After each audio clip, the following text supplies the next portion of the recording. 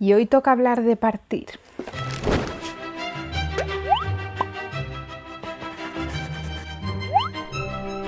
Hola a todos, ¿qué tal? Este fue uno de los libros que incluí en el último vídeo de lecturas terminadas, poniéndome al día con el reto, no sé qué. Bueno, en realidad lo colé, no era parte del reto, pero me llegó y lo empecé y no lo pude soltar hasta que lo terminé. Ese día no, no os quise contar nada sobre él porque no puedo hablar de él sin contar cosas importantes y no me parecía bien hacerlo en ese vídeo y, reventarlo, entonces os pregunté si os interesaba que hiciera un vídeo con spoilers sobre este libro y me dijisteis que sí y aquí está. Partir es un libro de de Lucía Bascaran, es su primera novela y está publicada por Expediciones Polares en esta maravillosa colección tan bonita de la que ya tengo tres libros. Estos tres es que me encanta, me encanta la edición. Y lo recibí por sorpresa, no sabía que me lo habían enviado ni nada. Y bueno, me, dio mucha alegría porque tenía ganas de leerlo y tenía ganas de tener otro libro que hiciera juego con este en mi estantería. Además, este ya sabéis que me encantó, hay un vídeo sobre él en el canal que os lo dejo arriba. Y este aún no lo he podido empezar, pero estoy segura de que tampoco me va a decepcionar. Y bueno, cuando me llegó este sabía que me iba a encantar. Cuando lo empecé estaba a medias de un par de libros del reto de estantería cero y, y pensaba que me iba a leer tres páginas y lo iba a dejar ya para cuando acabara estos cinco libros, pero no pude soltarlo. El libro habla de, de, Victoria y tiene como dos tiempos. Está el presente de Victoria, que no sé, supongo que comparte presente con nosotros, y el pasado de Victoria, donde te va contando su infancia y todo ese proceso de crecimiento que la llevó hasta el punto en el que está en el presente y me parece que es un libro muy importante. Y siempre digo que voy a hacer un vídeo con spoilers, pero me sigue costando mucho mm, decirlos. Creo que merece mucho la pena que leáis el libro sin saber nada de él y sin saber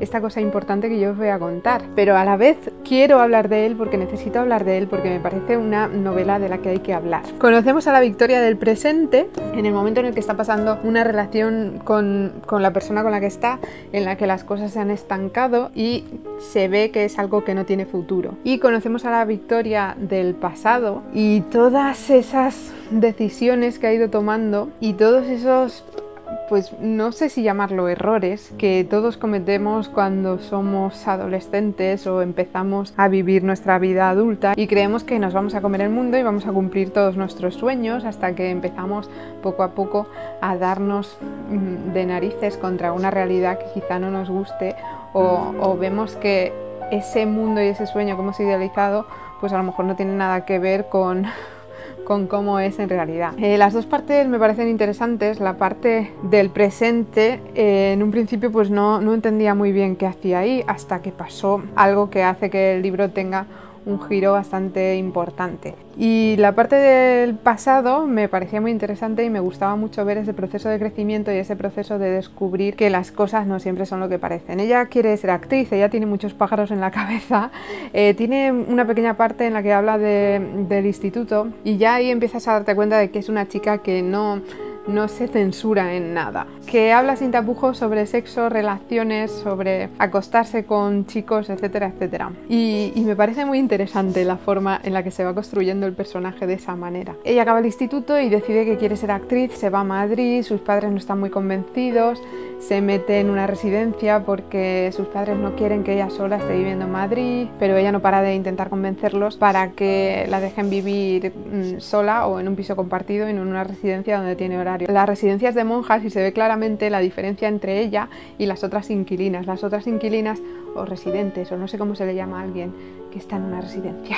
Las otras chicas son todas como mucho más recatadas, mucho más contenidas y ella es todo lo contrario, ella expresa lo que quiere expresar sin problemas y de nuevo otra vez entra esa, esa especie de doble moral de, de cómo las otras chicas la ven por, por acostarse con quien le da la gana cuando le da la gana. Y empiezan como a apartarla porque ven que es muy diferente y que no tiene la misma moral cristiana que tienen ellas. Allí conoce a, mucha gente en la escuela de actores, quiere ligarse a un chico que luego resulta que es homosexual. Y bueno, estás todo el rato dentro de la cabeza del personaje y sabiendo lo que está pensando, ¿no? Y, y todas las cosas que quiere hacer con ese chico y cómo quiere acostarse con él porque está muy bueno. Y no es normal encontrarse con un personaje femenino así que no, no va buscando el amor verdadero y puro que la salve, sino que simplemente quiere acostarse con todo el que le apetece y punto, y no, no se censura y no le parece mal y no tiene dilemas mentales sobre me quiero acostar con este porque sí, uy, qué mala mujer soy,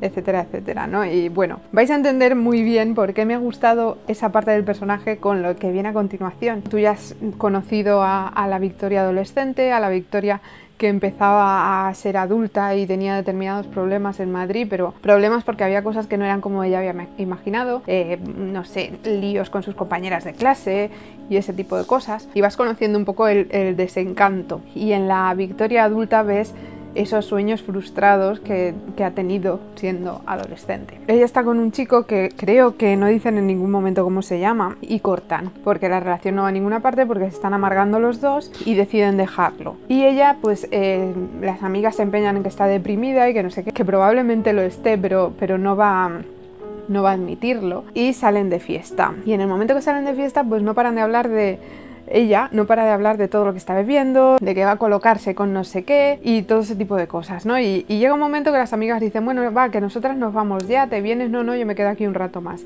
Y se queda sola. Y cuando se queda sola conoce a un chico que se aprovecha de lo pasada que está de todo y se la lleva a su habitación, ella le dice que no quiere hacer nada con él y él la termina violando. Y claro, ¿por qué me llama tanto la atención esa escena? y todo lo que hemos conocido de Victoria antes, porque creo que habrá mucha gente que cuando lea este libro pensará lo mismo que, le dice una de sus amigas. Ni siquiera sé su nombre, esto lo dice Victoria. Y otra de sus amigas dice, da igual, lo buscamos por toda la ciudad si hace falta. Y ella le contesta, es de fuera. Y otra de las amigas le dice, bueno, igual de mandarlo es demasiado, ¿no? Y entonces la otra amiga contesta, no es demasiado, a Victoria la han violado. Y esta amiga tan buena que tiene, que se llama Violeta, dice, pone los ojos en blanco y dice, tampoco te pases. Victoria se lió con él en el bar. Como dice mi madre, no te calientes lo que no te vayas a comer. Y esa frase fue, no sé, yo espero que para todo el mundo que esté leyendo este libro sea como una bofetada en la cara si realmente está pensando lo mismo que está pensando este personaje de Violeta. Y bueno, a partir de ese momento que es prácticamente el final del libro, es cuando, cuando Victoria empieza a caer en un abismo profundo por lo que le ha pasado, porque se siente culpable, porque cree que quizá podría haber hecho algo para evitarlo, por, todo eso que nos dicen siempre y por lo que ha dicho Violeta en esa frase, ¿no? Porque no te puedes calentar lo que no te vas a comer. es, que, es que cae y es que la ves caer y, y es muy triste y además es que es muy real.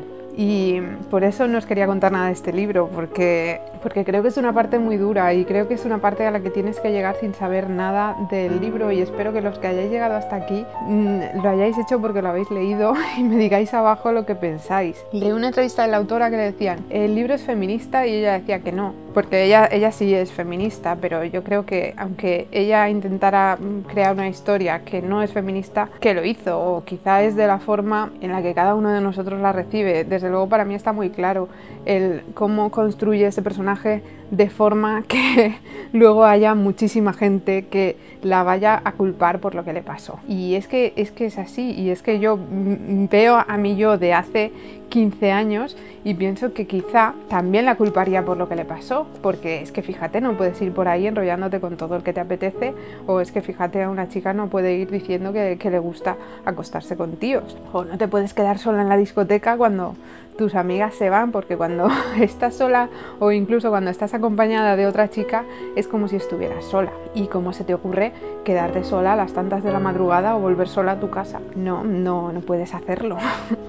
porque te expones a que te violen, por supuesto, ellos no tienen la culpa de nada, la tienes tú, que estás yendo por donde no debías, vestida de la forma que no debes y además si ya has bebido, pues mm, estás condenada al infierno, a un infierno por el que es el violador el que te hace pasar. Y hay una escena al final del libro donde ella ya está asustada de todo lo que le pasa y, empieza a reparar en esas cosas que yo creo que cuando pasas por algo así, yo no he pasado por algo así afortunadamente, pero como sabéis sí que pasé por una relación horrible y, que también te marca de una manera muy similar a la que te puede marcar esto y empiezas a, a reparar en cosas en las que antes no reparabas. Ella se cruza con un señor por la acera y él la mira de esa forma lasciva con la que seguro que muchas de os habéis tropezado alguna vez. Y bueno, habla de cómo esa mirada le hace, la hace sentir incómoda, la hace sentir mucha vergüenza y luego se pregunta, ¿Por qué debería sentir vergüenza? La vergüenza la debería sentir ese anciano lascivo, ese cerdo asqueroso que seguro que ni siquiera es capaz de tener una erección. Me muero del asco. Él no ha sentido ninguna vergüenza, estoy segura. Él tenía el aire de superioridad de quien tiene el poder, como un león a punto de pegarle un bocado a un cervatillo incapaz de correr lo suficientemente rápido. Y me parece brutal, porque es algo de lo que os he hablado en este canal en alguna que otra ocasión, en cómo siempre somos nosotras las que tenemos que sentir vergüenza, culpa, miedo y de cómo con todas esas cosas es con lo que nos mantienen bajo control. Así que me encantó el libro y me lo voy a quedar conmigo para siempre. Este es uno de esos libros que me encantaría dejar en la calle para que alguien más se lo encontrara y pudiera disfrutarlo igual que yo, pero a la vez no puedo separarme de él porque me parece fantástico y porque me lo quiero volver a leer a pesar de lo leído hace menos de un mes. Entonces pues quiero que sea una historia que me acompañe siempre y una historia que pueda pasar a, mis hijos o a mis hijas, a, lo que quiera que tenga en el futuro si es que los tengo. Pero sí, desde luego creo que es una historia que hay que leer y por supuesto hay que leerla con, con una mente abierta y no pensando de la protagonista que es esto o aquello, es una guarra, es una zorra, se merece lo que, lo que le pasó. Y me ha gustado mucho, me ha gustado mucho lo que ha hecho Lucía con este libro, me ha gustado mucho cómo lleva el personaje a esa escena horrible y, es que es horrible. Y sobre todo la frase de Violeta es demoledora. Y es que lo ves en la calle y ves que eso pasa y ves que, que cinco tíos violan a una chica en San Fermines y que encima tienen la cara de mandarle una carta diciendo que cuente la verdad y que pida perdón por lo que les está haciendo. Y que además hay mucha gente dándole la razón a esos cinco presuntos violadores. Nada, que os lo recomiendo mucho, que os dejaré abajo donde se puede conseguir porque creo que es un libro que vale mucho, mucho la pena y creo que es un libro que te hace reflexionar y que no solo te hace ponerte en el lugar de ella, sino en el de toda esa gente que pensará que es normal lo que le ha pasado y que si no quería que le pasara, pues debía haberse comportado de otra manera y haber sido como sus compañeras de residencia. Y bueno, pues eso, que os lo recomiendo mucho, que es maravilloso. Y muchas gracias a Expediciones Polares por habérmelo enviado, porque creo que cada vez que me mandan una de sus historias aciertan y, y bueno, que sí, que me lo quedo para mí para siempre. Y nada, que hasta aquí mi opinión del libro. Espero que os haya gustado el vídeo. Si os ha gustado lo podéis compartir y si os ha gustado la historia, compartidla porque creo que es importante. Nos vemos por aquí la semana que viene. Sigo en, el, en la odisea por los 100.000. Pero bueno, hoy no es día de hablar de eso, así que nada, que nos vemos por aquí la semana que viene y espero que paséis una muy buena semana. Hasta luego pues en el futuro, cuando el canal crezca y cuando os hagáis súper famosos y cobréis un montón del partner, podéis contratar a un diseñador que haga el trabajo por vosotros, pero mientras os lo tenéis que hacer vosotros, pues hay que encontrar este tipo de recursos.